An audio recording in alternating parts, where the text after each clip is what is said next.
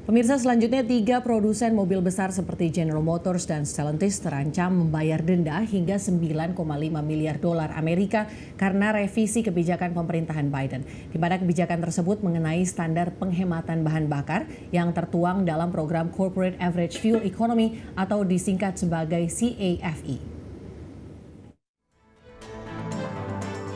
Tiga produsen Detroit seperti General Motors, Stellantis, dan Ford terancam dikenakan denda besar oleh karena revisi terbaru kebijakan pemerintahan Biden terkait persyaratan penghematan bahan bakar hingga tahun 2032.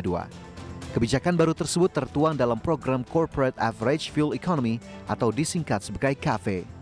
CAFE memungkinkan produsen mobil untuk dapat membeli kredit atau membayar denda jika mereka tidak dapat memenuhi persyaratan di dalamnya. Regulasi dalam kafe berpotensi menyebabkan denda sebesar 6,5 miliar dolar Amerika bagi General Motors dan sebesar 3 miliar dolar Amerika bagi Stellantis. Sementara Ford secara terpisah menghadapi denda sekitar 1 miliar dolar Amerika dan Volkswagen menghadapi denda hingga 1 miliar dolar Amerika yang merupakan jumlah terbesar di antara produsen mobil asing. Merespon hal tersebut, Dewan Kebijakan Otomotif Amerika yang mewakili GM, Stellantis, dan Ford Motor mengatakan bahwa besarnya sanksi karena tidak memenuhi persyaratan kafe sudah dinilai sebagai suatu hal yang mengkhawatirkan. Mereka meminta Departemen Energi untuk mempertimbangkan kembali rencana revisi regulasi tersebut yang membuat biaya kepatuhan jadi lebih tinggi bagi produsen mobil Amerika Serikat.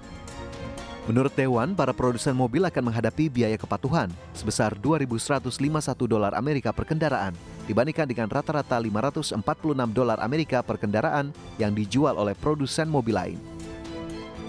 Sejauh ini, Stellantis dan GM menjadi yang pertama kali dilaporkan telah membayar denda kafe sebesar 363 juta dolar Amerika pada bulan Juni karena gagal memenuhi persyaratan penghematan bahan bakar Amerika Serikat untuk model tahun sebelumnya. Berbagai sumber IDX Channel.